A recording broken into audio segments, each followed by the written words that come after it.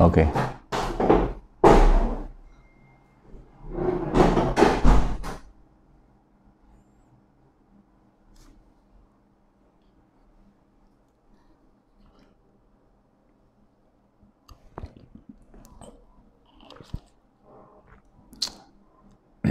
បាទទឹកទឹក chlorophyll បាទទឹក chlorophyll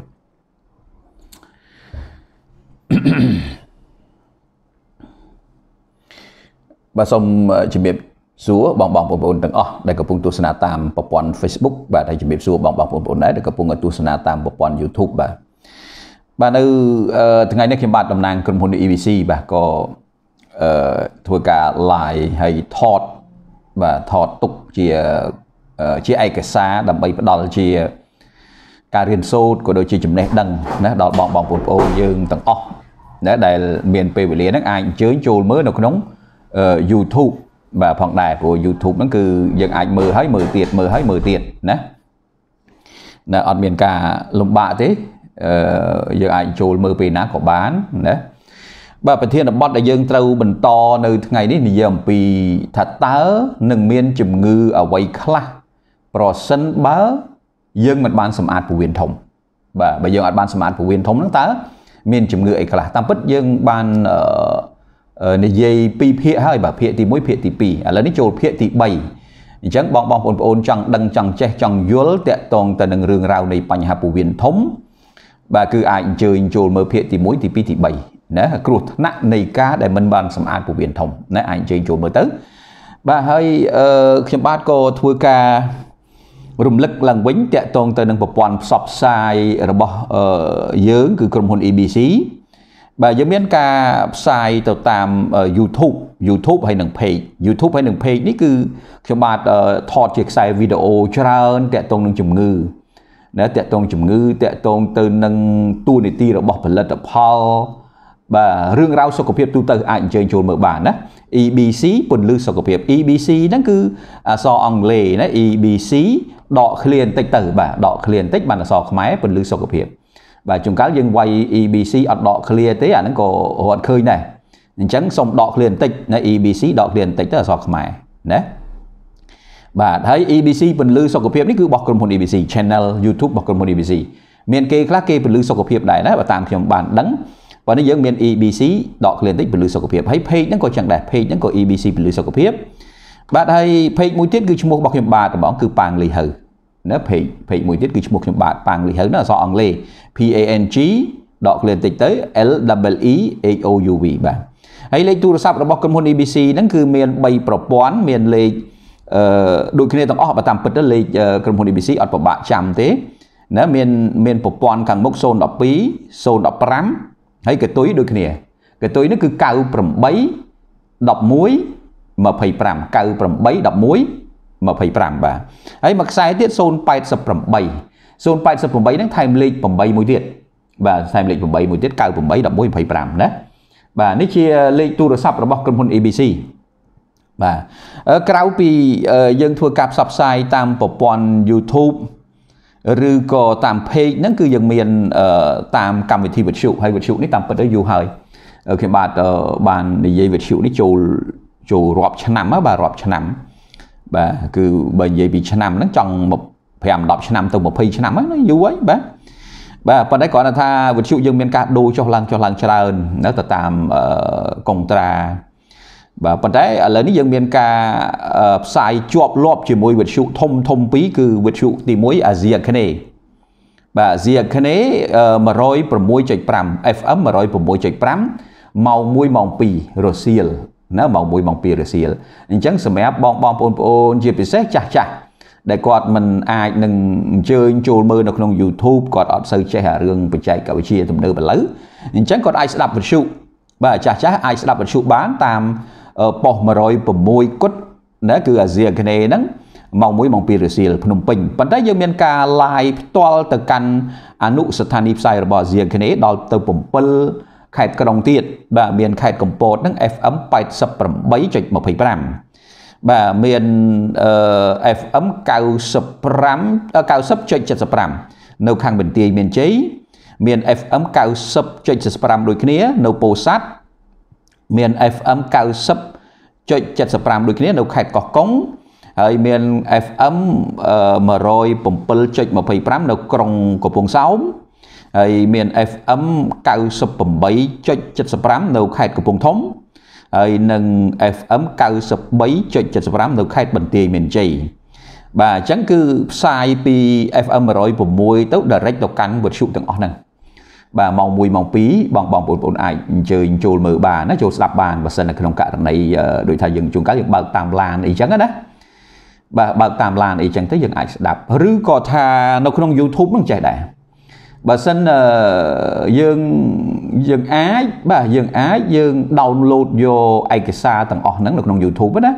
ជាពិសេសខ្សែវីដេអូហ្នឹងទៅទៅស្ដាប់បាទទៅមើលក្នុងឡានក្នុងអីចឹងទៅទៅដំណើរឆ្ងាយអីយើងស្ដាប់ទៅវាអាចផ្ដល់ចំណេះដឹងមកឲ្យយើងណាធ្វើឲ្យយើងនឹងទទួលបានការយល់ដឹងណាបាទនឹងការផ្សព្វផ្សាយ តាមវិទ្យុទី1នៅភ្នំពេញគឺ FM 106ហ្នឹងបើប៉ុស106អាស៊ីគ្នាម៉ោង1 2រសៀលយើងមានប៉ុសមួយទៀតយប់ឡើងវិញបាទយប់ឡើងគឺយើងផ្សាយតាម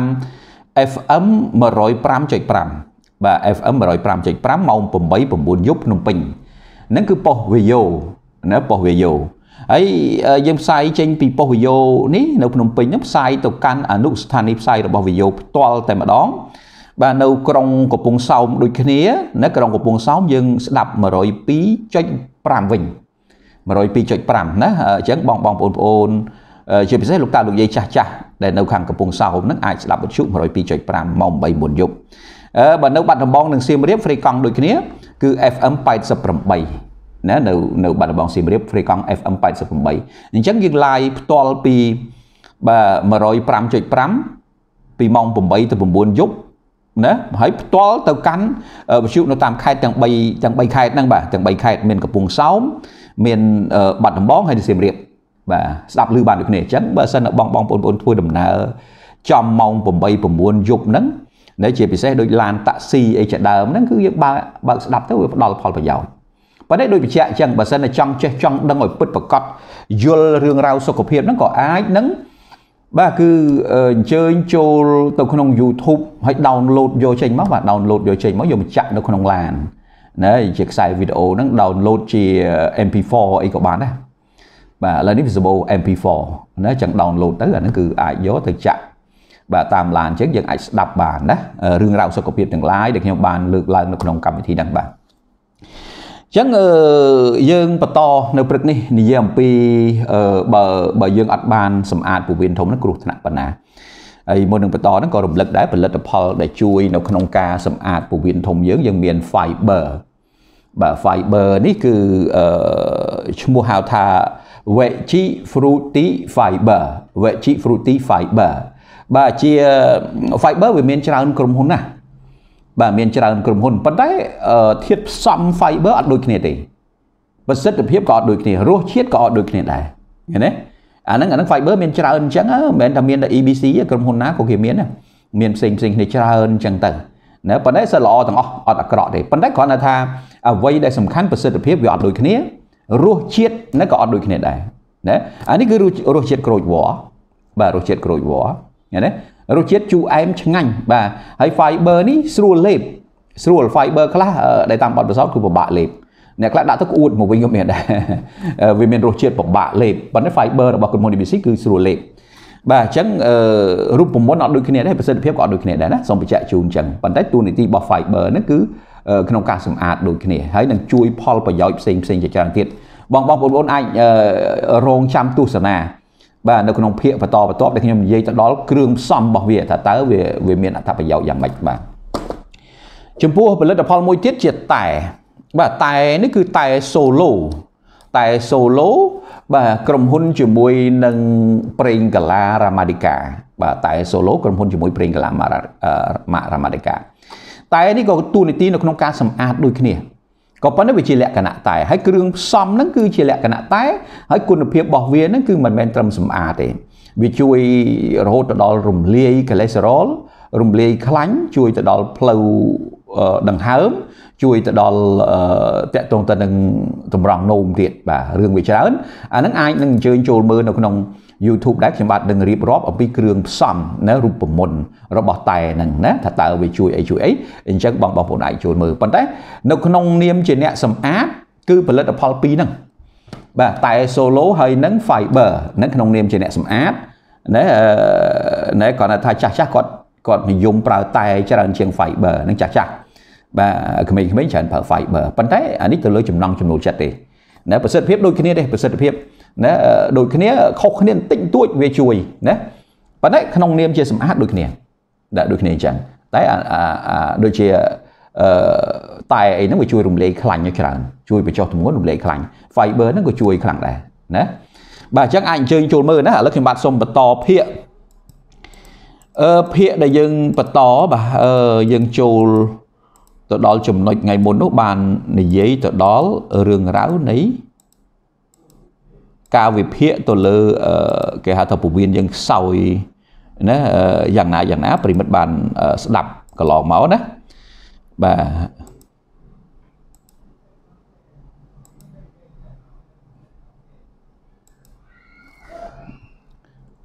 បាទជប់នេះនេះនេះនេះនេះ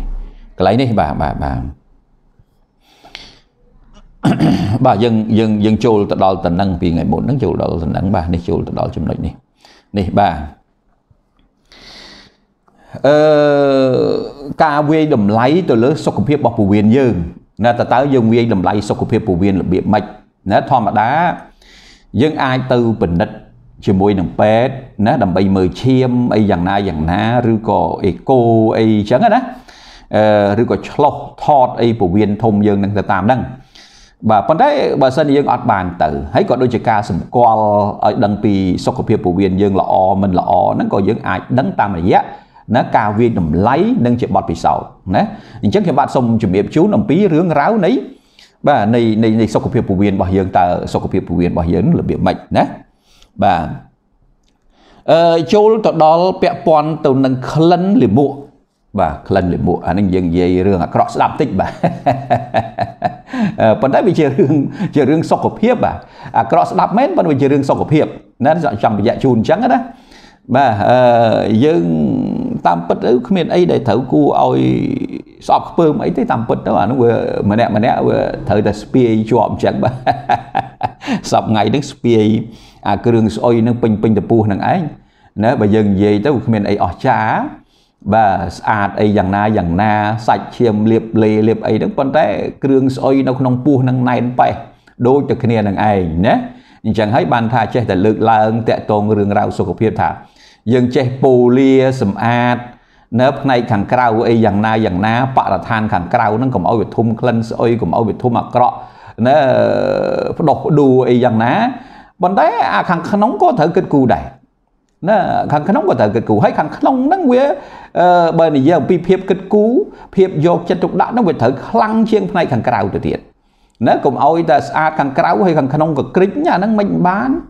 ណាត្រូវតែសម្អាតខាងក្នុងដូចគ្នាខាងក្នុងហ្នឹងគឺត្រូវតែស្អាតជាងខាងក្រៅផងបើយើងនិយាយពីគោលការណ៍សុខភាពពីព្រោះកាលណាខាងក្នុងហ្នឹងខូចអាងក្រៅនេះទោះបីចង់មានថ្នាំឯណាមកសំអិតសំអាងក៏អ៊ូបអីយ៉ាងណា ក៏វានឹងរលួយទៅតាមខាងក្រៅនឹងដែរណាគឺរលួយស្បែករលួយសាច់រលួយឈាមរហូតទៅដល់អស់ជីវិតហ្នឹងណាអញ្ចឹងហើយបានថារឿងខាងក្នុងវាជារឿងសំខាន់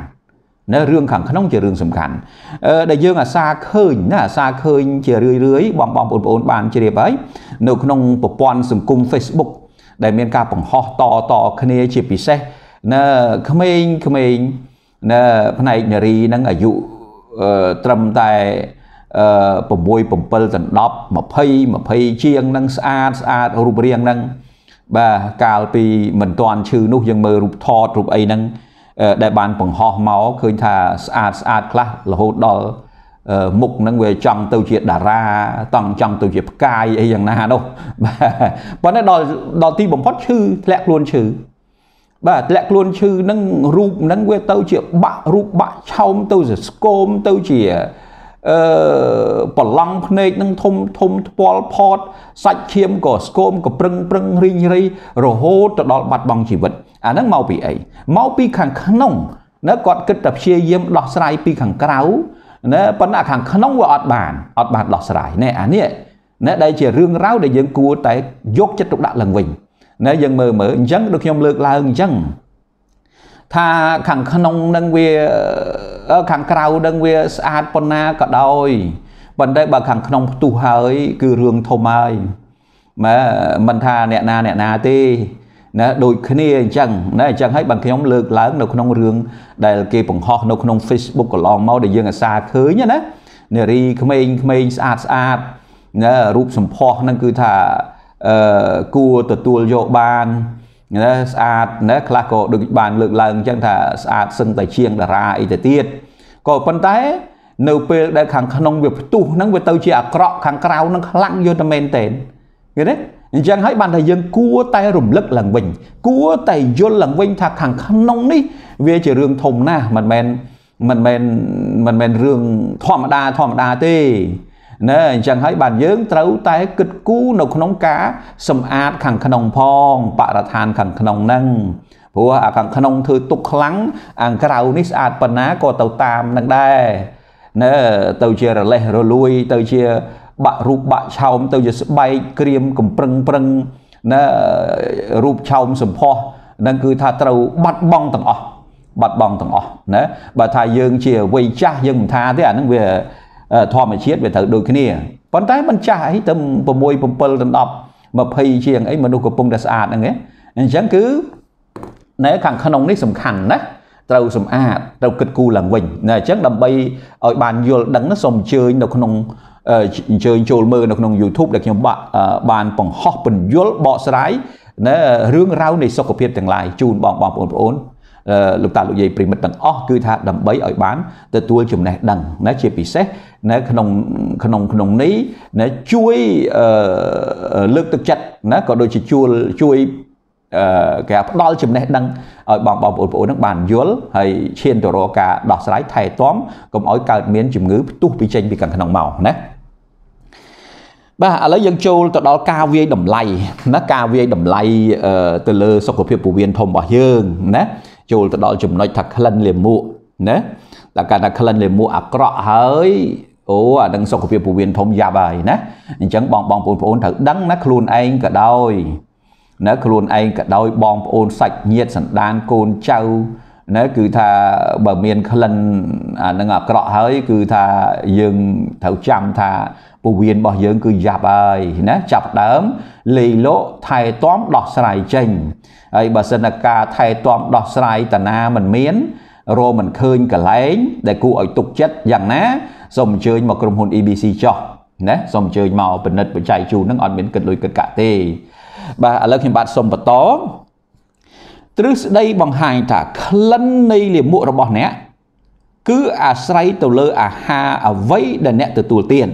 ណាបាទន័យថាប្រភេទអាហារដែលយើងទទួលទានហ្នឹងណាកាលណាវាមានក្លិនមិនល្អយ៉ាងណាអាហ្នឹងអាស្រ័យទៅលើអាហារបើអាហារវាហុចផលអាហារវាមិនល្អហើយអានឹងវាចាប់ដើមបង្ហាញអំពីបញ្ហាពោះវានឹងមិនល្អហើយណាបាទ វាចំណាយពេល8ម៉ោងសម្រាប់អាហារណាដែលអ្នកទទួលទានដើម្បីទៅដល់ពោះវៀនធំណាបាទនេះទៅ8ម៉ោង8ម៉ោងទៅដល់ហើយបើចូល10ម៉ោងរលួយហ่ะណា8ម៉ោងធ្លាក់ទៅដល់ពោះវៀនធំណាប៉ុន្តែ10ម៉ោងរលួយហ่ะណានៅក្នុង2ម៉ោងទៀតនៅក្នុងពោះវៀនធំ2ម៉ោងប្រសិនបើសមាសភាពអាហារមិនសមរម្យរួមជាមួយនឹងការមិនរលាយបានច្រើនផងនោះ កាកសំណល់ដែលមានចំនួនច្រើនបំផុត ហើយបើកាកសំណល់នេះគោទុកយូរក្នុងពវៀនធំ មានរយៈពេលជាង10ម៉ោងនោះវាចាប់ដើមរលួយ ហើយបង្កើតក្លិនស្អុយយ៉ាងខ្លាំងឃើញទេបាទគេនេះ8ម៉ោងធ្លាក់ទៅដល់ពវៀនធំគោទុកចាប់ពី10ម៉ោងឡើងលើអាហ្នឹងគឺចាប់ដើមរលួយហើយណាចាប់ដើមរលួយណាហើយតែរលួយទៅក្លិនស្អុយហើយហ្នឹងកើតជាតិពុលហើយ ណាកើតជាតិពុលហើយយើងមើលអ្នកខ្លះគោអីនៅ3ថ្ងៃអីនោះ2ថ្ងៃ3ថ្ងៃ2ថ្ងៃវា48ម៉ោងគេនិយាយថាត្រឹម10ម៉ោងសោះឯង48ម៉ោងហើយអ្នកខ្លះ4 5ថ្ងៃមួយអាទិត្យអីបានបាត់ជើងម្ដងអូមិនដឹងយ៉ាងណាទេបាទ Vivo ហើយនោះធ្ងន់ណាស់បាទដល់កម្រិតដែល3 4 5ថ្ងៃអីបាត់ជើងម្ដងហើយយើងគាត់និយាយមកដឹងតែឈឺបាត់ហើយណាទោះបីថាមនុស្សនឹងមិនទាន់ទរុនទរាក៏ដឹងថាថ្ងៃក្រោយទរុនទរាឆាប់ឆាប់នឹងឯង ណាអញ្ចឹងហើយបានថាយើងត្រូវតែមានចំណេះដឹងណាចំណេះដឹងបាទសូម្បីតែយើងទៅមន្ទីរពេទ្យហ្នឹងក៏គេសួរដែរណាតកតងបញ្ហាសុខភាពហ្នឹងខាងក្រុមគ្រូពេទ្យក៏សួរចាក់ឬចាក់គុលពីរឿងការបត់ជើងធំនឹងយ៉ាងណាយ៉ាងណាដូចតែគ្នាហ្នឹងអត់ខុសទេណាបើមិនជឿទៅមើលទៅបាទពីព្រោះអាហ្នឹងរឿងសុខភាពទូទៅអញ្ចឹងណារឿងសុខភាពទូទៅគ្រាន់តែថាគេមិនបានយកផលិតផលធម្មជាតិទៅដោះស្រាយទេវាយឺតយ៉ាវ ព្រោះអាធម្មជាតិហ្នឹងវាជួយជួយឲ្យជាដាច់តែគ្រាន់តែវាយូរហើយអតិថិជនយើងអតិថិជនចង់ជាឆាប់ឃើញទេបើអាជាឆាប់ហ្នឹងគួងវាត្រឡប់មកវិញដដែលអានឹងអញ្ចឹងណាជាឆាប់គួងត្រឡប់មកវិញណាឃើញឃើញចេញចូលចេញចូលកន្លងមកអ្នកជំងឺពេញពេញទីពេទ្យរហូតដល់កន្លែងដេកគ្មានផងណាខ្លះចេញបានមួយអាទិត្យមកទៀតណាអឺបាន4 5ថ្ងៃស្រួលខ្លួនត្រឡប់ទៅផ្ទះវិញបានមួយអាទិត្យមកទៀតណា មកយូពេទ្យឡើងធុញមុខអស់ហើយណាមុខដដែលដដែលមិនចេះជាសោះបាទអឺអញ្ចឹងយើងយើងមើលណាយើងមើលទាំងអស់គ្នាស្ដាប់ទាំងអស់គ្នាណាបាទគេថាប្រសិនបើសមាសភាពនៃអាហារមិនសមរម្យរួមជាមួយការមិនរលាយបានច្រើនអាហារមិនសមរម្យអាហារមិនអាហារមិនសមរម្យអាហារប្រអាប់អាហារវិចខ្ចប់អាហារកែច្នៃអាហារសាច់អញ្ចឹងវាមិនសូវមានជាតិ មិនសូវមានអាកាសសរសៃ fiber ណាហើយមនុស្សយើងសប្ងៃវាមានកាកសរសៃ fiber ពីណាមកនៅក្នុងអាហារយើងមានពីណាមកគ្មានទេគ្មានទេពួកអាហារយើងសើសាច់ហ្នឹងសៀបអាប់សៀបសាច់សៀបវិចខ្ចប់ហ្នឹងហើយយើងមានកាកសរសៃ fiber អីអត់មានទេឃើញទេអញ្ចឹងហើយអាហ្នឹងវាអត់ល្អសម្រាប់ពោះវៀនធំយើងណាព្រោះពោះវៀនធំវាត្រូវកាកសរសៃ fiber ហ្នឹងបានច្រើនបាទអញ្ចឹងបើសិនអាហារមិនសមរម្យរួមជាមួយនឹងការមិនរលាយបានច្រើនការមិនរលាយ អឺធម្មតាយើងត្រូវហូបទៅដូចខ្ញុំបានបញ្យល់អញ្ចឹងថាកាពះអ្នកថ្មិញកិនម្សា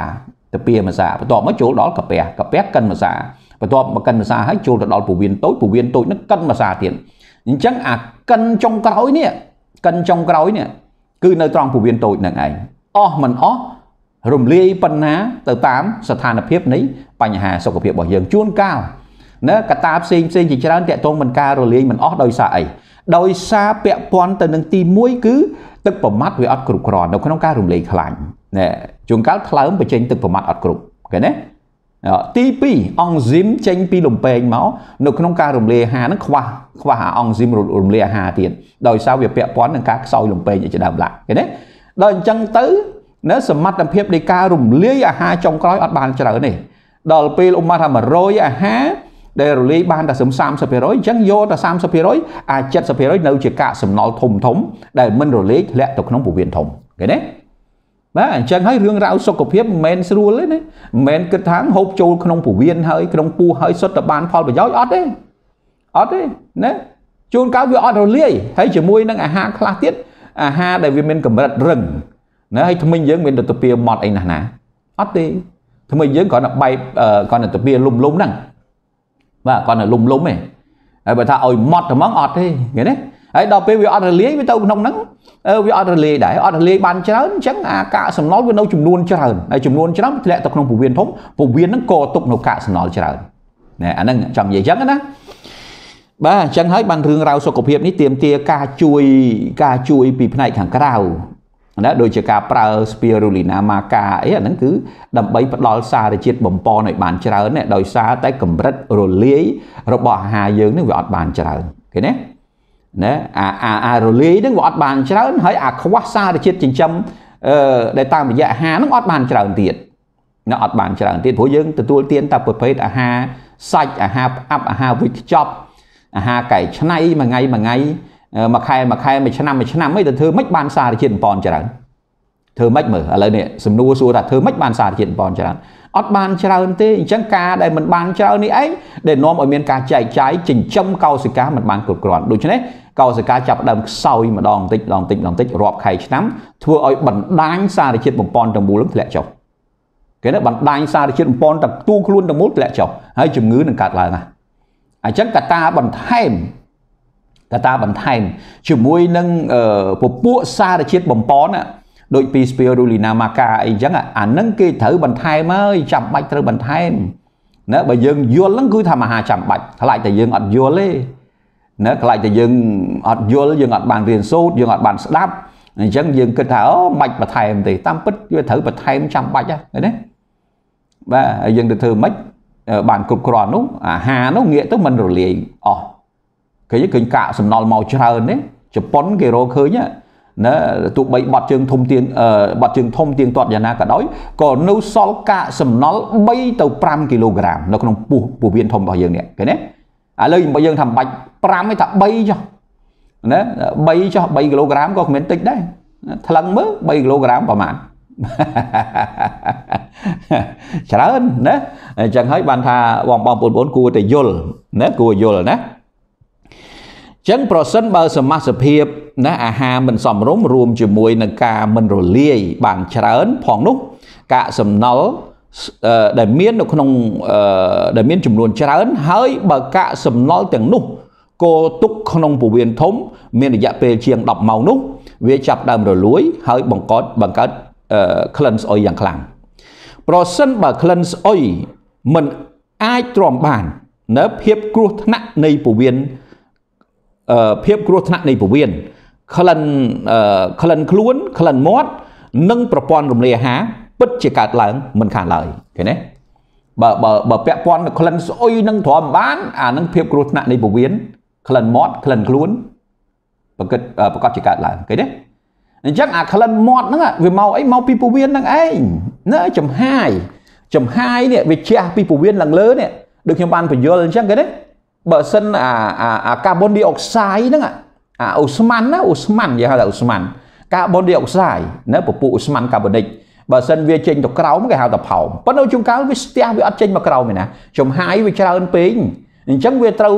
វាវាត្រូវឡើងមកទៅតាមសម្ពាធខ្យល់របស់រាងកាយយើងណាឡើងមកតាមសម្ពាធខ្យល់ខ្យល់វាដូចខ្ញុំនិយាយអញ្ចឹងណាចេញចូលចេញចូលណាដូចខ្ញុំនិយាយថាកាលណាខ្យល់វាចូលមកត្រួតគ្នា ណាចូលមកត្រួតគ្នាអាចេញក៏អត់ចេញអាចូលក៏អត់ចូលអានឹងនាំឲ្យចាក់ដោតពេញរាងកាយនាំឲ្យដូចគេខ្ទាស់អញ្ចឹងណានាំឲ្យដូចគេខ្ទាស់អឺដូចដូចមានអីចាក់ដោតរឹងឆ្កឹងអញ្ចឹងណាអានឹងអាសាជួបអាសាជួបជំងឺអញ្ចឹងចឹងណាណាជាពិសេសមនុស្សចាស់ហើយមនុស្សដែលអត់បានហាត់ប្រាណមនុស្សដែលអត់បានហាត់ប្រាណមនុស្សចាស់ គឺប្រឈមនឹងអាស្ទះខ្យល់ដូចខ្ញុំនិយាយអញ្ចឹងណាខ្យល់វាវាអញ្ចឹងអាមួយចេញមួយចូលមួយចេញមួយចូលដើម្បីឲ្យដំណើរការរាងកាយរបស់យើងទាំងមូលទៅប្រព្រឹត្តល្អប៉ុន្តែថ្ងៃណាមួយដែលខ្យល់នឹងវាស្ត្រួតស៊ីគ្នានៅផ្នែកណាមួយនៃពីលើទៅដល់ក្រោមហ្នឹងអញ្ចឹងចាប់ដើមខ្ទាស់ជាប់តម្រាំតើវារំកិលខ្យល់នឹងរំកិលខ្លួនចេញមកវាវាធូរថយហ្នឹងអាចអាចគាំងអាចគាំងមកសទុះធំដែរហ្នឹង បាទអាហ្នឹងក្បួនគេឲ្យយើងហូបទឹកបន្តិចបន្តិចបន្តិចបន្តិចបន្តិចទឹកដើម្បីជាជំនួយណាបើសិនក្នុងករណីអញ្ចឹងយើងយកទឹកមកយើងក្រេបអត់អាចហូបច្រើនបានទេហូបច្រើនស្ទះយកស្លាប់ឡើយអញ្ចឹងក្រេបបន្តិចបន្តិចបន្តិចបន្តិចឃើញទេប៉ុន្តែខ្ញុំចង់បញ្យល់ជូនថាថាគ្រឿងក្លិនមាត់នេះក្លិនមាត់មកពីចំហាយហ្នឹងនៅពេលដែលខ្យល់អាខ្យល់ខាងខាងខាងក្នុងណាឧស្ម័នហ្នឹងវាឡើងមកតិចបន្តិចជះមកគេវាមកដោយជាមួយអាសម្ពាធខ្យល់យើងហ្នឹង បាទដោយជាមួយសម្ពាធខ្យល់យើងនឹងឯងឃើញទេអឺដល់អញ្ចឹងទៅនិយាយធំក្លិននិយាយធំក្លិនមាត់ឃើញទេអញ្ចឹងអាក្លិនមាត់ហ្នឹងមកពីពវៀនតាណា80%មកពីពវៀនវាអាច10 20%វាមកពីមាត់ថ្មិញដាក់អីចឹងទៅអាហារចូលដុសលាងមិនបានសម្អាតអីចឹងទៅណាបាទអញ្ចឹងអានេះខ្ញុំចង់បញ្យល់ជូនណាបញ្យល់ជូនបងបងប្អូនបងឲ្យជ្រាបអញ្ចឹងអញ្ចឹងហើយបានថាណាស្ដាប់ឲ្យតន់ណាប្រសិនបើក្លិនស្អុយមិនអាចទ្រាំបាន ភាពគ្រោះថ្នាក់នៃពវៀនក្លិនខ្លួនក្លិនមាត់និងប្រព័ន្ធរំលាយអាហារពិតជាកើតឡើងហើយឃើញទេបានន័យថាសញ្ញាគេឲ្យដឹងអញ្ចឹងណាបើសិនក្លិនក្លិនលាមកហ្នឹងស្អុយខ្លាំងអានឹងភាពគ្រោះថ្នាក់នៃប្រព័ន្ធរំលាយអាហារក្លិនមាត់ក្លិនខ្លួនណាបញ្ហាពវៀនហ្នឹងគឺប្រកាសជាកើតឡើងហើយឃើញទេគេអាចវាយតម្លៃអញ្ចឹងគេអាចវាយតម្លៃបាទអឺ អធិស្ស្រ័យវាដូចជាពីរដងបាទអូបាទបាទបាទ slide នេះប្រហែលជា2ដងបាទអូខេនេះលក្ខណៈនៃលាមកបាទលក្ខណៈនៃលាមកតើលក្ខណៈនៃលាមកនេះយ៉ាងម៉េចបាទលាមកបង្ហាញពីសុខភាពពោះវៀនណាល្អនោះ គឺមានភាពទន់ល្មមមិនរឹងមិនរាក់នេះឃើញទេអានិយាយយើងលីមួកតិចណាអធិស្ឋានផងព្រឹកហ្នឹងគឺចំអាចំអាអាយ៉ាប់យ៉ាប់ណាប៉ុន្តែត្រូវតែរៀនខ្លះថាកុំនិយាយរឿងលិមួករឿងអីណាវាសយវាអីព្រលឹមឡើងអា បើនិយាយរឿងសយសយគ្រប់តម៉ោងហ្នឹងឯងព្រោះយើងស្ពាយលាបក់ជាប់រហូតហ្នឹងបាទមានអីត្រូវសយបើបើសយវិញសយគ្រប់ម៉ោងបាទគ្រប់វិនាទីព្រោះនៅក្នុងខ្លួនហ្នឹងបើស្អុយក៏គ្រប់គ្រប់គ្នាហ្នឹងឯងវាមានអីទៅស្អាតក្នុងខ្លួនយើងអញ្ចឹងបើមនុស្សយើងនេះគឺបើនិយាយបើភាពស្អាតវិញណាមហាសែនកក្រិចបំផុតមនុស្សយើងនេះណាគឺបើយើងសិក្សាឲ្យស៊ីជម្រៅអញ្ចឹងហើយបានព្រះអង្គលោកមិនមានមិនមានអ្វីដែលជារឿង ព្រះអង្គថាมันមានអ្វីដែលជារឿងស្រឡាញ់អីទេណាអត់មានទេមនុស្សលោកយើងនេះអឺដូចនៅក្នុងរឿងមួយដែលសេដ្ឋីលើកកូនកំមុំឲ្យដោយសារឃើញព្រះអង្គស្អាតព្រះអង្គអឺដូចថាជាអ្នកដូចថាលេចធ្លោនៅក្នុងចំណោមប្រសង់ហើយដល់អញ្ចឹងទៅលើកបាទលើកកូនកំមុំណារៀបចំចាត់ចែងណាដែលអញ្ចឹងទៅព្រះអង្គថា ខ្លួនរបស់នាងនឹងសុទ្ធតែលិមុទេណាអឺព្រះអង្គតាមពិតព្រះអង្គនិយាយត្រង់និយាយដោយដោយដោយចេតនាត្រង់មិនមែននិយាយដោយមើងងាយទេគឺប្រាប់ថាព្រះអង្គអត់ត្រូវការទេវាសុទ្ធតែលិមុណាណាព្រះអង្គនិយាយត្រង់ណាមានពុទ្ធិកាត្រង់អញ្ចឹងហើយដល់នោះខឹងតូងបដោយណាខឹងខឹងព្យាបាទតាមណាតាម តាមព្រះអង្គហើយខាងបឋិជនដល់ឮសូរថាសិលមួកអញ្ចឹងស្អប់បដោយណាស្អប់ព្រះអង្គខឹងព្យាយាមព្យាបាទណារកវិធីសាស្ត្រអីផ្សេងផ្សេងជាច្រើនណាប៉ុន្តែយើងគាត់នៅលើកនៅចំណុចហ្នឹងថាវារឿងពិតវាអញ្ចឹងមែនណាមានអីអស្ចារ្យណាអត់មានអីអស្ចារ្យទេវាសុទ្ធតែក្លិនមិនល្អទាំងអស់ណាសូម្បីតែណាទេវតាប្រអិនប្រព្រំអីក៏គេអត់ចង់មកដែរនៅក្នុងភពផែនដីហ្នឹង ព្រោះវាស្អុយណាវាស្អុយយើងនិយាយទៅដល់រឿងពវៀនហ្នឹងណាអូស្អុយក៏គ្រប់បាទអត់មានអីដែលនេះទេអញ្ចឹងហើយបានថាយើងត្រូវយល់ដឹងណាការយល់ដឹងមិនមែនជាឈានទៅរកការស្អប់ខ្ពើមទេការយល់ដឹងគឺជាការកែជាការកែដើម្បីកុំឲ្យវាកើតជំងឺកុំឲ្យវាស្អុយពេកបើរឿងថាវាស្អុយហ្នឹងវាពិតជាស្អុយហើយក៏ប៉ុន្តែកុំឲ្យវាពេកណាកាលណាពេកទៅវាកើតជំងឺ ណាព្រោះយើងម្នាក់ម្នាក់ក៏ចង់បានអាយុវែងដើម្បីបានអាយុវែងតសុខភាពពោះវៀនធំនិងល្អនៅក្នុងទ្រឹស្ដីដែលអ្នកប្រាជ្ញលើកឡើងជាពិសេសលោកអេលីមេនីកូវជាជនជាតិរុស្ស៊ីដែលជាអ្នកទទួលបានពានរង្វាន់ Nobel ហ្នឹងគាត់ថាការដែលចាស់មុនអាយុដោយសារតែមានបាក់តេរីអាក្រក់ច្រើននៅក្នុងពោះវៀនធំអញ្ចឹងត្រឡប់មកវិញអ្នកដែលមានអាយុវែង ហើយនឹងសុខភាពមានអាយុវែងហើយសាច់ឈាមស្បែករបស់គេល្អដោយសារគេមានបាក់តេរីល្អច្រើននៅក្នុងពោះវៀនធំរបស់គេឃើញទេអញ្ចឹងយើងសម្អាតនឹងក្នុងបំណងដែលយើងបង្កើនបាក់តេរីល្អហើយបាទសម្អាតហ្នឹងគឺបង្កើនបាក់តេរីល្អណាបាទអញ្ចឹងឥឡូវយើងងាកមកប្រធានបទយើងវិញថាលក្ខណៈនៃលាមកលាមកបង្ហាញអំពីសុខភាពពោះវៀនល្អនោះគឺមានសភាពទន់ល្មមមិនរឹងមិនរាក ហើយចេញពីរាងកាយក្នុងរយៈពេលតែប៉ុន្មាននាទីប៉ុណ្ណោះបាទស្ដាប់ឲ្យតាន់គេណាហើយយើងអង្គុយប្រហែលម៉ោងមើលដល់អង្គុយប្រហែលប្រហែលនាទីនៅក្នុងរាល់ថ្ងៃនេះចូលបន្ទប់ទឹកចូលប្រគុណម្ដងម្ដងនេះអ្នកណាដែលអង្គុយចាំយើងស្ទះមួយថ្ងៃមួយថ្ងៃនេះឃើញទេមូលហេតុអីមូលហេតុបាត់ជើងវាអត់ចេញបាត់ជើងវាអត់អស់ឃើញទេអញ្ចឹងយើងអង្គុយ20 30នាទីអ្នកខ្លះ1ម៉ោងអីនោះ ណាអ្នកខ្លះគុណតែមួយផ្ទះហ្នឹងនិយាយពីចាំបន្តកតុយគ្នាហ្នឹងឯងអញ្ចឹងហើយត្រូវចាំថាអ្នកដែលចូលបន្ទប់ទឹកលឿនបត់ជើងលឿនណាឆាប់អស់ពីពវៀនអ្នកនឹងសុខភាពពវៀនរបស់គេល្អឃើញទេហើយបើអ្នកណាអង្គុយរាប់ម៉ោងអានឹងចូលហើយចូលបញ្ហាហើយអញ្ចឹងគ្រាន់តែចូលបន្ទប់ទឹករាប់ម៉ោងហ្នឹងគឺដឹងដឹងសុខភាពពវៀនមិនល្អដែរណាប៉ុន្តែខ្លះចូលអង្គុយលេងអញ្ចឹងនៅក្នុងបន្ទប់ទឹកអង្គុយនិយាយទូរស័ព្ទអីអញ្ចឹងទៅអង្គុយធ្វើនេះធ្វើនោះអីចឹងទៅបាទបាទកុំយូរពេកណាស្ទះគេស្ទះឯងក្រោយបាទបាទប្រសិនបើ អ្នកមានការលំបាកនៅក្នុងការបន្ទោបង់ហើយលាមកចេញមកដូចជាក្របកំភ្លើងឬស្អិតនោះវាបង្ហាញថាអ្នកមានជំងឺទល់លាមកហើយបាទបាទលមក ដូចក្របកំភ្លើងណាក្របកំភ្លើងវាមិនចេញមកស្រួយស្រួយណា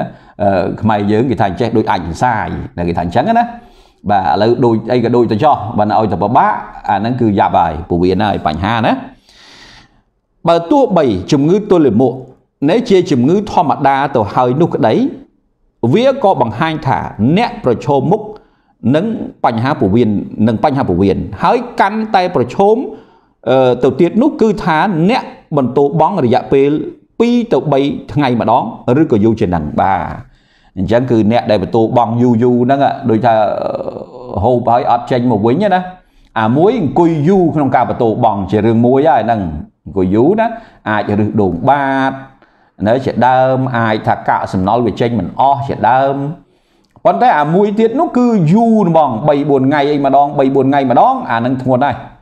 នៅ sẽ អត់ស្រួលហើយធម្មតាវាត្រូវរាល់ថ្ងៃព្រោះអាហារយើង3ពេលរាល់ថ្ងៃដែរហើយដល់លេង3 4ថ្ងៃម្ដង3 4ថ្ងៃម្ដងអានឹងរឿងហើយអញ្ចឹងហើយបាននៅពេលគ្រាន់តែត្អូញត្អែមកតែលគូហើយខ្ញុំលេង3ថ្ងៃអីម្ដងអូឈឺហើយនឹងឈឺហើយបើទោះមិនតាន់ឈឺក៏គង់ឈឺដែរបាទអញ្ចឹងត្រូវដោះស្រាយចេញណាហើយការដោះស្រាយអត់ពិបាកទេអញ្ចឹងបើខ្ញុំនិយាយថាត្រូវមាន fiber នេះនៅតាមផ្ទះត្រូវមានបាទនៅ fiber ហ្នឹង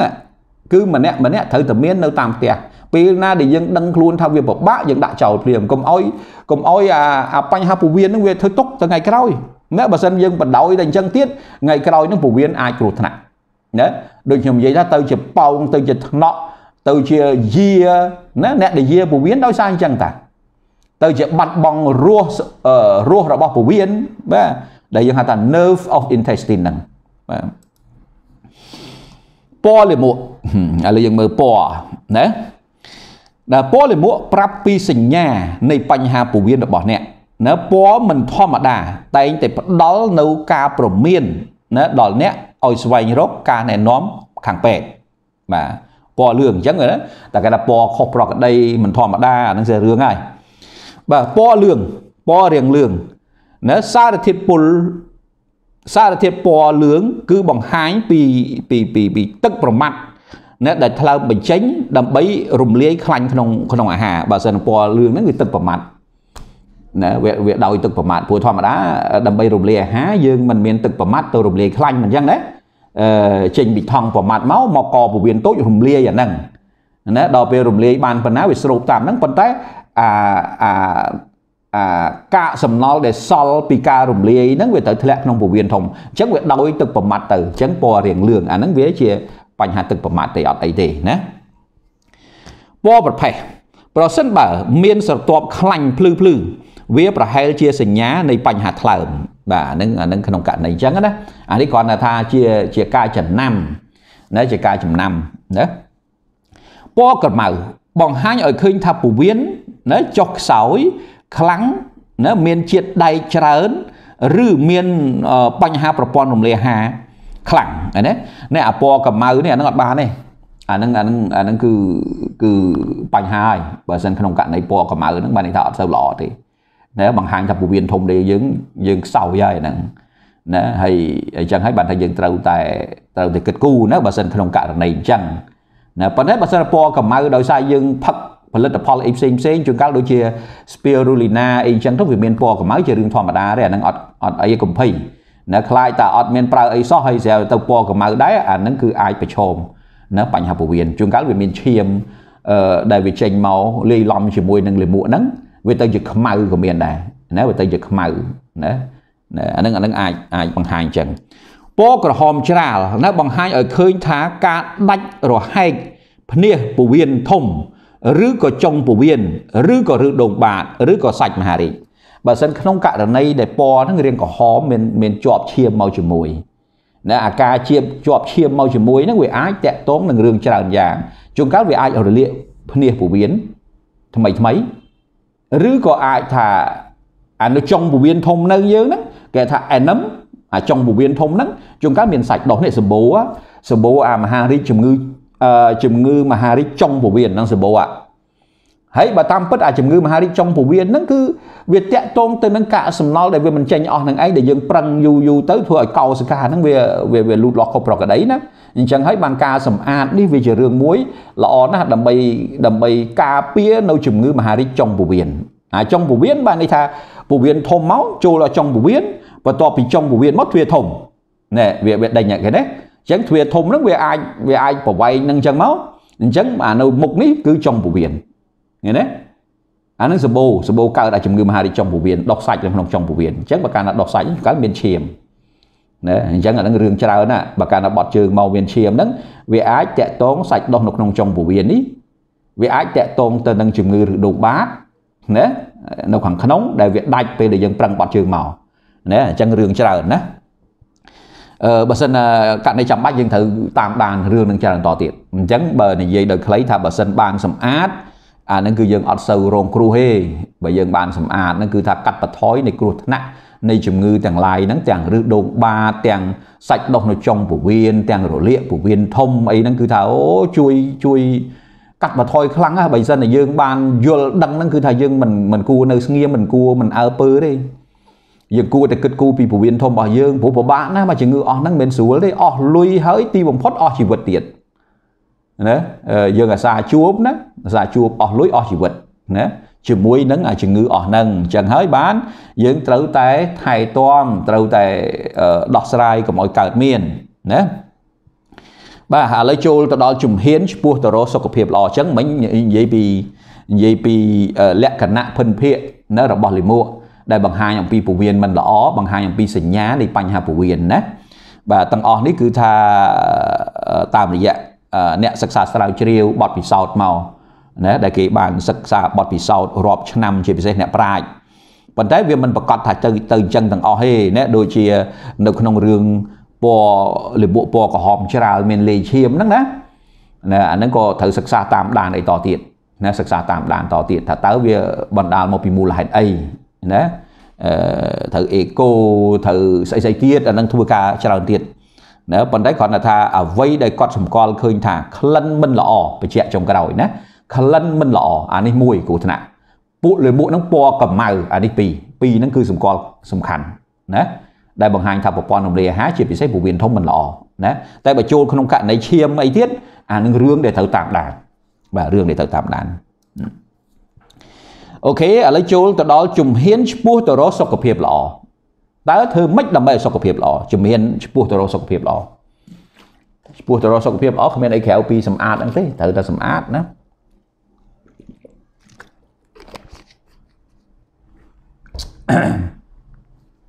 ជាស្អីមើលម៉ោងមួយផ្លេតម៉ោងថតបានអូ40នាទីជាងណា42នាទីឥឡូវថែមបន្តិចទៀតឲ្យបាន1ម៉ោងម៉ោងបាទឥឡូវយើងមើលការបណ្ដេញជាតិពុល និយាយសំដៅទៅលើដំណើរការនៃការកម្ចាត់ជាតិពុលចេញពីរាងកាយណាបណ្ដេញជាតិពុលហ្នឹងបានន័យថាបានន័យថាកម្ចាត់ជាតិពុលចេញពីរាងកាយណាបាទការរំលាយអាហារខ្សោយខូចមុខងារពោះវៀនធំ មុខងារថ្លើមខ្សោយ និងការការកម្ចាត់ជាតិពុលខ្សោយណាតាមរយៈតម្រង់នោមប្រព័ន្ធផ្លូវដង្ហើម និងស្បែក ណាទាំងអស់នេះណាបន្ថែមកំកំកំណើនជាតិពុលកាន់តែខ្លាំងបាទចង់និយាយថាចេះចង់និយាយថាការបដិញជាតិពុលហ្នឹងគឺគឺធ្វើម៉េចកម្ចាត់ជាតិពុលចេញពីរាងកាយណាអញ្ចឹងកម្ចាត់ជាតិពុលចេញពីរាងកាយហ្នឹងវាមានវាមានអឺនេះអឺស្ដាប់ម្ដងទៀតអត់ចិត្តស្អីការបដិញជាតិពុលគឺជាការកម្ចាត់ជាតិពុលចេញពីរាងកាយណាប៉ុន្តែអ្នកការរំលាយអាហារខ្សោយនេះមួយ ការខូចមុខងារពោះវៀនធំនេះ2 មុខងារថ្លើមខ្សោយនេះ3ការកម្ចាត់ជាតិពុលខ្សោយតាមរយៈតម្រង់នោមនេះ4ប្រព័ន្ធផ្លូវដង្ហើម និងស្បែកណាទាំងអស់ហ្នឹងគឺបន្ថែមកំណើនជាតិពុលនៅកាន់តែខ្លាំងឡើងខ្លាំងឡើងចង់និយាយថាយើងវាមានជាតិពុលក្នុងខ្លួនដែរអ្នកណាម្នាក់ក៏ត្រូវតែមានដែរប៉ុន្តែនៅពេលដែលណាអឺគេហៅថាទី1គឺតកតងទៅនឹងមុខងារប្រព័ន្ធរំលាយអាហារខ្សោយឃើញទេ អាមុខងារប្រព័ន្ធរំលាយអាហារខ្សោយហ្នឹងក៏រុញលបឿនជាតិពុលកាន់តែខ្លាំងណាអអាមុខងារថ្លើមខ្សោយនេះក៏រុញលបឿនកាន់តែខ្លាំងអអាមុខងារតម្រង់នោមខ្សោយនេះក៏រុញលបឿនកាន់តែខ្លាំងឃើញទេអញ្ចឹងអាអារឿងជាតិពុលវាមានហើយវាមានវាមានវាមានរួចស្រេចហើយប៉ុន្តែនៅពេលដែលប្រព័ន្ធរាងកាយរបស់យើងទាំងអស់ចុះខ្សោយដូចជាប្រព័ន្ធរំលាយអាហារខ្សោយដូចមុខងារថ្លើមខ្សោយដូចតម្រង់នោមខ្សោយឃើញទេ នៅប្រព័ន្ធផ្លូវដង្ហើមខ្សោយឬក៏ស្អីស្អីទាំងអស់ហ្នឹងអានឹងរុញឧបមាថាឥឡូវជាតិពុលមាន80%ដល់ពេលអាស្អីអស់នឹងខ្សោយទាំងអស់អាសេរីរាងខ្សោយទាំងអស់រុញឲ្យជាតិពុល100%បដ ாய் ណាហើយដល់ជាតិពុលខ្លាំងវាពុលឲ្យមករាងកាយហ្នឹងឃើញទេវាជាអតិពុលទៅមកទៅមកហ្នឹងអញ្ចឹងស្ដាប់នៅកន្លែងហ្នឹងតន់ណាការបណ្ដេញជាតិពុលនិយាយសំដៅទៅលើដំណើរការនៃការកម្ចាត់ជាតិពុលពីរាងកាយ ណាការរំលាយអាហារខ្សោយ មុខងារពោះវៀនធំខ្សោយ មុខងារថ្លើមខ្សោយ កាកសំណល់ជាតិពុលណាការកម្ចាត់កាកសំណល់ជាតិពុលខ្សោយតាមរយៈផ្លូវតម្រង់នោមប្រព័ន្ធផ្លូវដង្ហើមនិងស្បែកទាំងអស់នេះបន្ថែមកំណើនជាតិពុលកាន់តែខ្លាំងឃើញទេអញ្ចឹងខ្សោយអស់ហើយអ្វីអ្វីគឺត្រូវជាតិពុលទៅទាំងអស់ព្រោះធម្មតាសរីរាង្គមួយមួយវា វាធ្វើការបានល្អដូចជាថ្លើមអីចឹងធ្វើការដើម្បីកម្ចាត់ជាតិពុលតម្រង់នោមអីធ្វើការកម្ចាត់ជាតិពុលប្រព័ន្ធរំលាយអាហារអីហ្នឹងវាល្អក៏វាជួយទាញយកជាតិពុលចេញពីរាងកាយចេញពីពោះវៀនធំអីចឹងទៅណាប៉ុន្តែដល់ពេលអស់នឹងខ្សោយរុញលបឿនកាន់តែខ្លាំងណាដល់ពេលប្រព័ន្ធទាំងអស់នឹងវាចុះខ្សោយហើយជាតិពុលកាន់តែឡើងបាត់ហើយឃើញទេហើយបើយើងមិនសម្អាតយើងទៅធ្វើម៉េចឥឡូវមានអីទៅជួយកើតប្រសិនបើលោកអ្នក មានបំណងចង់សម្អាតសរីរាង្គណាដូចជាថ្លើមតម្រង់នោមដោយមិនបានដោះស្រាយកម្ចាត់កាកសំណល់នៅក្នុងពវៀនជាដំបងទេជាតិពុលពីកាកសំណល់នឹងត្រូវស្រូបចូលក្នុងខ្លួនណាតាមឈាមមកវិញដដែលឃើញទេបើបើយើងចង់សម្អាតថ្លើមយើងថាយើងចង់សម្អាតថ្លើមយើងចង់សម្អាតតម្រង់នោមយើងចង់សម្អាតឈាមអីចឹងណាប៉ុន្តែយើងអត់បានយើងយើងអត់បានសម្អាតពវៀនធំទេ បើទោះបីយើងសម្អាតថ្លើមក៏ដោយសម្អាតតម្រង់នោមក៏ដោយសម្អាតឈាមក៏ដោយអាជាតិពុលវានៅតែហូរមកវិញដដែលហ្នឹងដូចខ្ញុំនិយាយថាជាតិពុលវាច្រើននៅក្នុងពវៀនធំជាតិពុលវាច្រើននៅក្នុងពវៀនធំណាអញ្ចឹងចេញពីពវៀនធំចូលទៅកាន់ថ្លើមហើយថ្លើមនឹងទុកមកមួយសាណាបន្ទាប់ពីវាទប់ហើយអាណាដែលវាទប់អត់ជាប់វារត់ទៅកាន់ឈាមនឹងវិលនៅក្នុងរាងកាយយើងតម្រង់នោមនេះជាអ្នកចម្រោះ ឥឡូវបើយើងឧទាហរណ៍យើងចង់សម្អាតថ្លើមជាតិពុលពីថ្លើមជាតិពុលពីឈាមជាតិពុលពីតម្រង់នោមបើយើងសម្អាតជាតិពុលទាំងអស់ហ្នឹងក៏ដោយបើយើងអត់បានកាត់បន្ថយប្រភពនៃបញ្ហាក៏វានៅតែហូរដដែលដែរឃើញទេនៅតែហូរប្រៀបដូចថាយើងចង់បាចទឹកបាចទឹកតាពាំងហ្នឹងស្រះហ្នឹងឲ្យឲ្យរីងប៉ុន្តែយើងអត់បានទប់ទំនប់ទេយើងអត់បានទប់ទំនប់ណាឬក៏ទំនប់ហ្នឹងវាមានរុនក្តាម ជាដើមដែលដែលវាធ្លុះចូលមកហូរទឹកចូលមកណាហើយយើងបាចធ្វើម៉េចរីងបាចម្រីងឯងបាចមកជីវិតក៏រីងដែរព្រោះទឹកវានៅតែហូរមកដដែលហ្នឹងគេណាដល់តែយើងបិទទំនប់បិទរុនក្តាមរុនខ្យងហ្នឹងគឺថាកុំអោយវាហូរមកទៀតអាហ្នឹងបានវារីងណាចង់និយាយចឹងណានៅក្នុងអត្តន័យហ្នឹងដូចគ្នាដូចគ្នាបើយើងសម្អាតតែថ្លើមសម្អាតតែឈាមសម្អាតតែតម្រង់នោមប៉ុន្តែអាពវៀននេះអត់ដែលបានសម្អាត អញ្ចឹងប្រភពនៃនៃនៃជាតិពុលយើងអត់បានកាត់បន្ថយវាប៉ុណ្ណឹងណាអញ្ចឹងវានៅតែកើនដដែលសូម្បីតែកាត់បន្ថយហ្នឹងវានៅមិនអស់ផងហើយតម្រាំអត់កាត់ទៀតនោះឃើញទេអញ្ចឹងបានក្បួនសុខភាពគេថាបើយើងមានបំណងចង់សម្អាតសរីរាង្គយើងផ្សេងផ្សេងកុំភ្លេចឲ្យសោះនៅក្នុងការសម្អាតពោះវៀនធំណែអញ្ចឹងណាអញ្ចឹងទី1សម្អាតពោះវៀនធំទី2សម្អាតឈាមអាហ្នឹងបានវាទៅទាំងព្រមណាហើយបើយើងសម្អាតតែពោះវៀនធំអឺតែតែតែឈាម ហើយយើងមានសម្អាតពោះវៀនធំផងអញ្ចឹងជាតិពុលមកវិញដដែលណាហើយដូច្នេះហើយការសម្អាតពោះវៀនធំ គឺជាកត្តាចម្បងបំផុត សម្រាប់សុខភាពទូទៅ បាទត្រូវសម្អាតពោះវៀនធំចេញអានឹងមិនបានណាបាទអញ្ចឹងនេះជាចំណុចដែលយើងគួរតែយល់ដឹងជំហានដំបូងនៃការសម្អាតពោះវៀនធំ ចលនាពោះវៀនធំ ជាមូលដ្ឋានគ្រឹះណាទៅរកសុខភាពល្អ ណាមួយនៅក្នុងចំណោមបញ្ហាពោះវៀនធំ គឺសម្ដៅអឺពោះវៀនធំនៅសពថ្ងៃនេះណាគឺជំងឺទល់លាមកបាទបញ្ហាពោះវៀនធំនេះគឺជំងឺទល់លាមកបាទហ្នឹងចឹងហើយតើតើតើតើពោះវៀនធំបញ្ហាគឺទល់លាមកហើយប្រព័ន្ធពោះវៀនណាដែលស្ទះគឺជាប្រព័ន្ធដែលដែលដែលពេលវេលា ផ្លាស់ប្ដូរជាតិពុលត្រូវបានធ្វើឲ្យយឺតយ៉ាវបាទបាទប្រព័ន្ធពវៀនដែលស្ទះហ្នឹងគឺជាប្រព័ន្ធ គឺគឺជាជាប្រព័ន្ធមួយដែលវាឲ្យពេលវេលាជាតិពុលហ្នឹងมันបានផ្លាស់ប្ដូរឲ្យបានទាន់ពេលធម្មតាជាតិពុលវាត្រូវផ្លាស់ប្ដូរណាដល់ពេលវាស្ទះទៅវាអត់មានអីផ្លាស់ប្ដូរទេអញ្ចឹងជាតិពុលមានថែមណាជាតិពុលមានថែមឃើញទេស្ទះទៅវាអត់បានអូមកថាអាជាតិពុលចាស់វាមានណាហើយដល់ជាតិពុលថ្មីវាទៅទៀតហើយដល់ពេលអាការសម្អាតវាអត់មានអញ្ចឹងពេលវេលានៃការផ្លាស់ប្ដូរជាតិពុលហ្នឹងអត់ដល់អញ្ចឹងវាជាកើនទៅកើនទៅវាជាកើនទៅកើនទៅ ណាយើងនិយាយងាយស្ដាប់ថាជាតិពុលវាអត់មានពេលដកដង្ហើមហ្មងវាត្រូវទៅរហូតជាតិពុលអត់មានពេលដកដង្ហើមទៅរហូតណែនពេញក្នុងរាងកាយហ្នឹងហើយអ្នកខ្លះគាត់ថាគាត់អត់មានជាតិពុលទេគាត់មិនដែលហូបជាតិពុលអីផងអានឹងចាំបាច់ហូបអីជាតិពុលវាមានដោយស្វ័យប្រវត្តិមានអីត្រូវហូបជាតិពុលហ្នឹងជាតិពុលមានរហូតណាកុំកុំចាំបាច់ថាខ្ញុំមិនដែលហូបជាតិពុលផងមានអ្នកណាទៅហូបជាតិពុល អត់ទេអត់ហូបជាតិពុលទេជាតិពុលវាត្រូវតែមានយ៉ាងឯងអានឹងជាធម្មជាតិណាក្នុងពវៀនធំយើងពេលវេលាផ្លាស់ប្ដូរជាតិពុលមានរយៈពេលកាន់តែយូរណាកាកសំណល់អឺមានបន្ថែមកាន់តែច្រើនណាហើយកាន់តែរលួយណាដែលនឹងបង្កើតជាតិពុលកាន់តែខ្លាំងណាដែលជាលទ្ធផលធ្វើឲ្យពុលដោយស្វ័យប្រវត្តិណាទៅដល់សរីរាង្គផ្សេងផ្សេងបាទបានន័យថា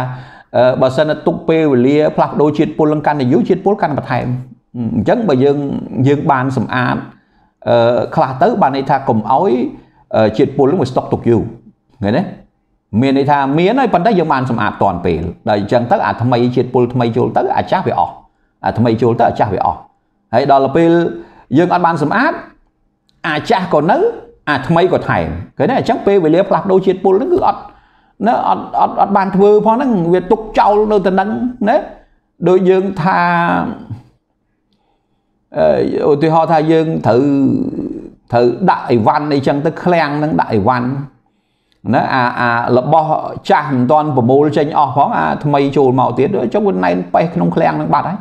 អញ្ចឹងដើម្បីឲ្យឃ្លាំងហ្នឹងវាដាក់ទៅវាស្រួលរៀបចំត្រឹមត្រូវមិនណែនមិន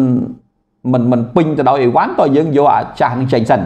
ហើយអាថ្មីចាំចូលទៅឃើញទេឧទាហរណ៍ក្នុងមួយថ្ងៃហ្នឹងគេថាត្រូវទៅសម្អាតឃ្លាំងហ្នឹងហើយបើមួយថ្ងៃយកអត់ចេញផងហ្នឹងអញ្ចឹងអាថ្មីចូលទៅក្នុងមួយថ្ងៃហ្នឹងដែរវាជន់គ្នាបាត់ហើយអានេះខ្ញុំចង់បញ្យល់ឲ្យប្រៀបធៀបអញ្ចឹងណាក្នុងជាតិពុលហ្នឹងដូចគ្នាដូចគ្នាអាចាស់មិនតាន់អស់អាថ្មីចូលអាចាស់មិនតាន់អស់ថ្មីចូលអញ្ចឹងហើយទៀមទាការសម្អាតដើម្បីឲ្យអស់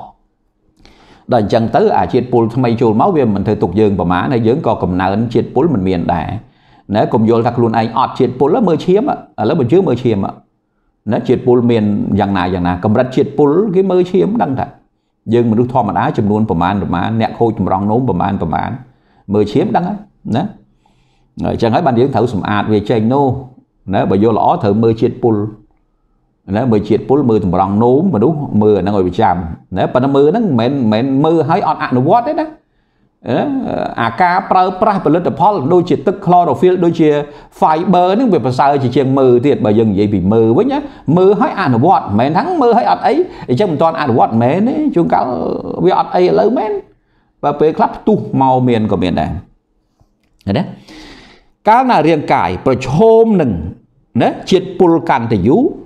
ណាភាពគ្រោះថ្នាក់នៃការកើតឡើងនៃជំងឺកាន់តែច្រើនទៅផងដែរបាទ បាទអានឹងរាងកាយប្រឈមជាតិពុលគ្រោះថ្នាក់នៃពោះវៀនហ្នឹងកាន់តែខ្លាំងទៅខ្លាំងទៅហើយណាកំចាត់ពពួកកាកសំណល់ស្អិតជាប់ជញ្ជាំងពោះវៀនធំ បាទយើងកំចាត់វាចោលណានៅបញ្ហាសុខភាពរ៉ាំរ៉ៃគឺជាទូទៅចាប់ផ្ដើមពីពោះវៀនដែលមានជាតិពុលច្រើនណាចលនាពោះវៀនធំខ្សោយណាអឺបងអធិស្ឋានអសវាតូចពេក បាទបន្តរយៈពេលយូរវាពិតជាមានសភាពគ្រោះថ្នាក់ណាបំផុតសម្រាប់សុខភាពរបស់មនុស្សម្នាក់ម្នាក់ណាសម្រាប់លោកអ្នក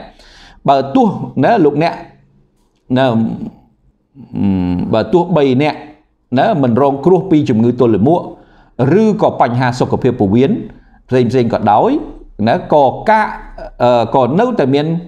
កាកសំណល់កោទុកនៅក្នុងពោះវៀនធំផងដែរបាទចង់និយាយថាបើយើងអត់ទុលក៏ដោយ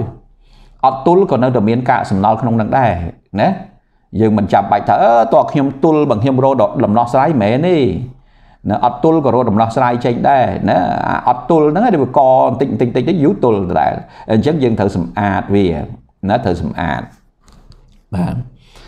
ការសិក្សាស្រាវជ្រាវនៅនៅនៅក្នុងប្រទេសជប៉ុនបានបង្ហាញថា កាកសំណល់ស្អិតណាអឺជាមធ្យមមានចំនួន បាទកាកសំណល់ស្អិតជាមធ្យមមានចំនួន2.7គីឡូក្រាមទៅ4.5ដែលយើងហៅថា3ចន្លោះពី3ទៅ5គីឡូក្រាមហ្នឹងណា2.7ណាតាមការស្រាវជ្រាវរបស់ជប៉ុនបានបង្ហាញថាកាកសំណល់ស្អិតជាប់ជញ្ជាំងពោះវៀននឹងមានចំនួនមធ្យមនៅ2.7ចន្លោះ2.7ទៅ4.5គីឡូក្រាមគោទុកនៅក្នុងពោះវៀនធំរបស់មនុស្សដែលមិនមានបញ្ហាណានៃការកើតមានជំងឺទល់លាមកឃើញទេ អត់មានជំងឺទេប៉ុន្តែចន្លោះហ្នឹងគឺ2.7ទៅ4.5គីឡូក្រាមណាហេតុដូច្នេះហើយបើទោះបីណាពោះវៀនធំកខ្វក់ឬក៏ស្អាតយ៉ាងណាក៏ដោយមនុស្សនៅគ្រប់គ្នានឹងទទួលបានផលប្រយោជន៍អំពីការសម្អាតពោះវៀនធំគេចង់និយាយថាទោះបីយើងយើងទល់ក៏ដោយមិនទល់ក៏ដោយត្រូវតែសម្អាតដើម្បីបានផលប្រយោជន៍តែគ្រាន់តែសិក្សារកឃើញអញ្ចឹងរកឃើញថា ទោះបីមនុស្សនឹងអត់បត់ជើងធំក៏ដោយក៏នៅចន្លោះពី2.7គីឡូក្រាមនៅទៅ4.5គីឡូក្រាមដែរនៃកាកសំណល់នៅជាប់ជាងពោះវៀនធំហ្នឹងឯងឃើញទេហើយពោះវៀនធំយើងវាចូល1ម៉ែត្រកន្លះនោះមើលមើលមិនមែនខ្លីណា1ម៉ែត្រកន្លះហ្នឹងវាវែងណាសឹងស្មើនឹងកម្ពស់មនុស្សកម្ពស់1ម៉ែត្រកន្លះហ្នឹងហើយហើយ1ម៉ែត្រ60បើយើងថា1ម៉ែត្រ60ថែមតែ10ទៀតទៅ1ម៉ែត្រ50ម៉ែត្រកន្លះ1ម៉ែត្រ50 ឃើញទេអញ្ចឹងស្មានថាខ្លីពោះវៀនធំយើងហ្នឹងហើយ1ម៉ែត្រ50ហ្នឹងអឺកោទុកកាកសំណល់ហ្នឹងចន្លោះពី7 2.7ទៅ4.5ដែលចន្លោះពី3ទៅ5គីឡូក្រាមហ្នឹងឯងណាតាមតាមការប៉ាន់ស្មានរបស់អ្នកប្រាជ្ញដែលគេរកឃើញហ្នឹងហើយអញ្ចឹងកាកសំណល់ហ្នឹងវាមិនគ្រោះថ្នាក់មើលមើលហ្នឹងអ្នកអ្នកបត់ជើងធំទៀងទាត់ទេចុះអ្នកមុំអត់បត់ជើងធំទៀងទាត់មិនដែរវាមិនធ្ងន់គេទេ បាទអញ្ចឹងហើយយើងត្រូវតែសម្អាតហើយសម្អាតហ្នឹងទល់ក៏ដោយមិនមិនទល់ក៏ដោយវានៅតែបានផលប្រយោជន៍អញ្ចឹងណានៅបានផលប្រយោជន៍ចាំបាច់តែតើខ្ញុំអត់ទល់ផងអញ្ចឹងខ្ញុំចាំបាច់សម្អាតមែនទេគេសម្អាតវាលើហើយណាសម្អាតវាលើហើយណាបាទនៅពេលដែលអ្នកសម្អាតពោះវៀនធំឥឡូវមើលមើលសម្អាតពោះវៀនធំត្រូវធ្វើម៉េចណា ចូលកុំភ្លេចបញ្ចូលពពួកបាក់តេរីល្អដូចជាបាក់តេរី Bifidus នៅក្នុងប្រព័ន្ធរំលាយអាហាររបស់អ្នកពីព្រោះវាជួយបង្កើនបរិស្ថានល្អក្នុងពោះវៀនណារបស់អ្នក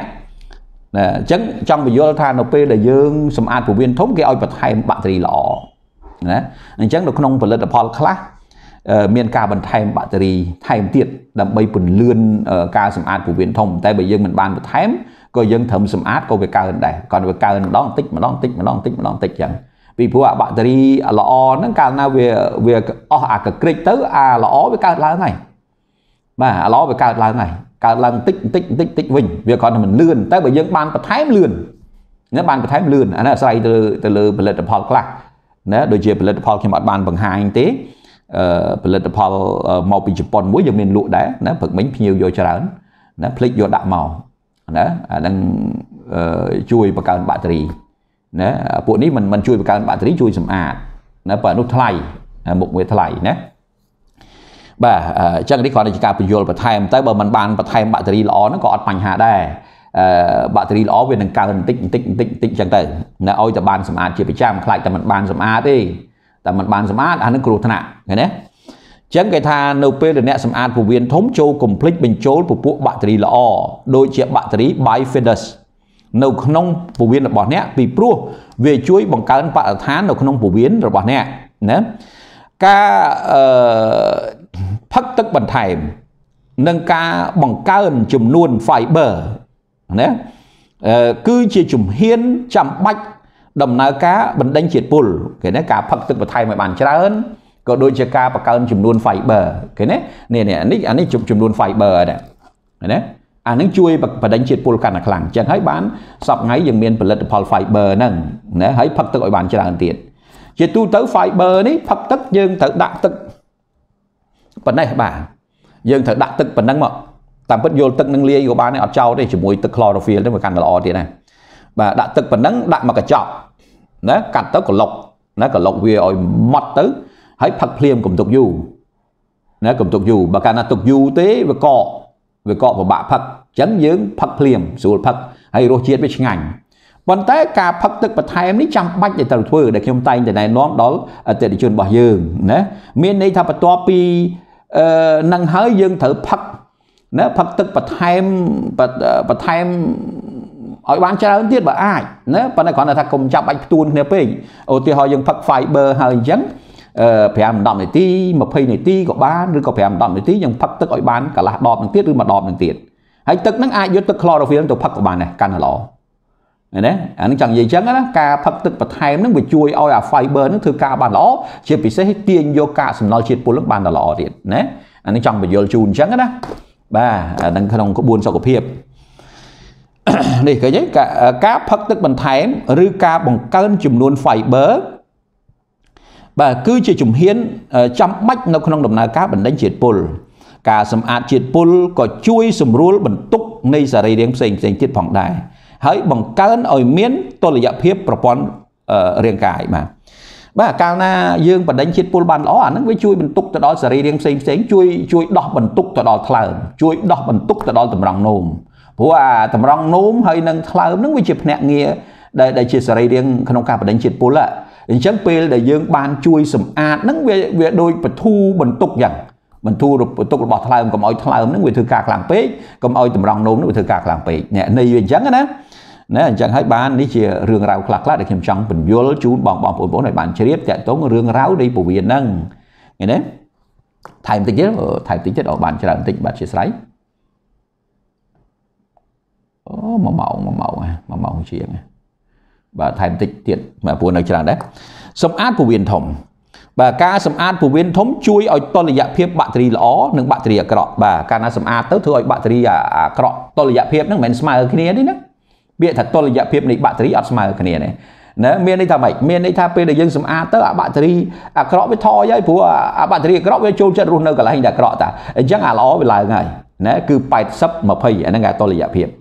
ណា80 20មានន័យថាបាក់តេរីល្អ80 អាបាក់តេរីអាក្រក់20ហ្នឹងការសម្អាតវាទៅអញ្ចឹងប៉ុន្តែគ្រាន់តែថាវាបានអញ្ចឹងអញ្ចឹងវា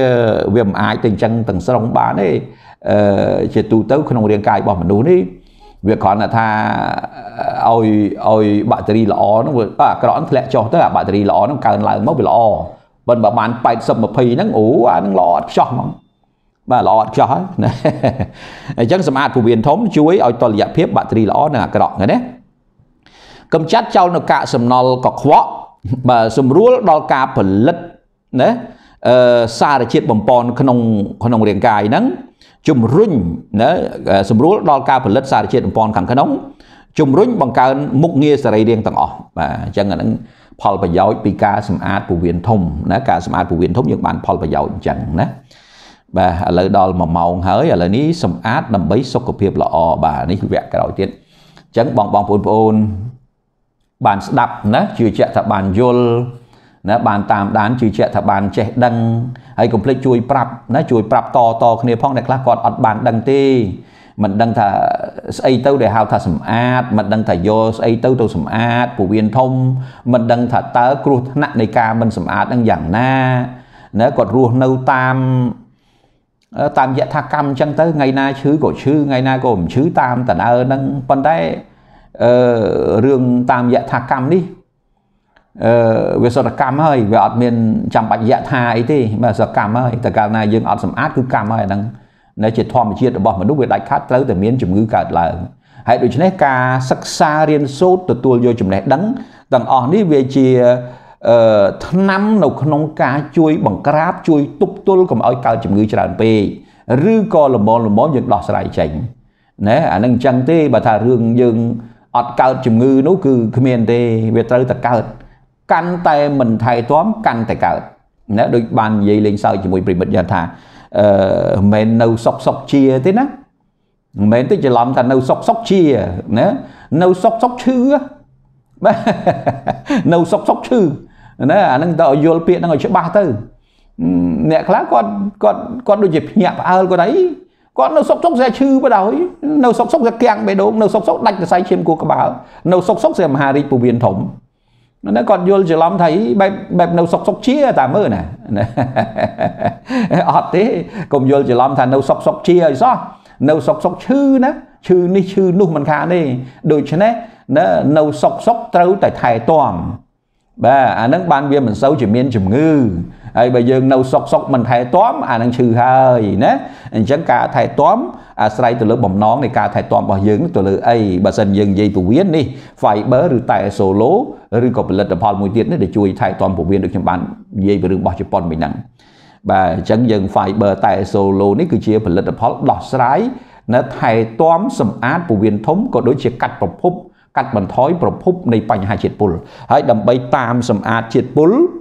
គឺ chlorophyll បាទតាមសម្អាតជាតិពុលក្នុងឈាមគឺ chlorophyll បាទ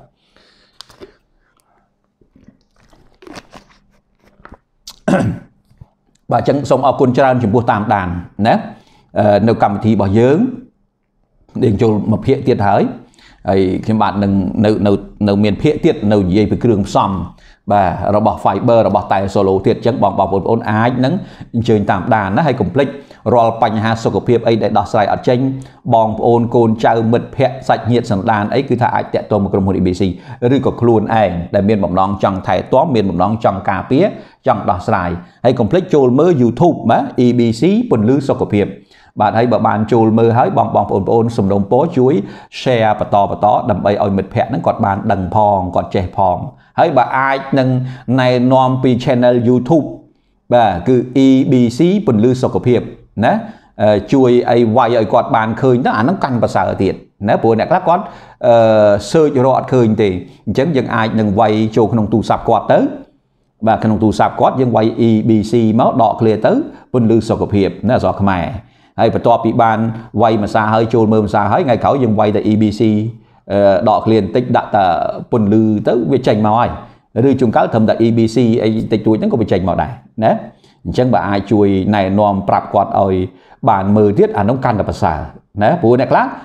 អឺយើងប្រាប់ទៅគាត់អត់វាយទេណាគាត់អត់វាយមើលទេគាត់គាត់ដឹងអឺអើអញ្ចឹងព្រោះការយកចិត្តទុកដាក់ពីរឿងសុខភាពនេះមនុស្សយើងវា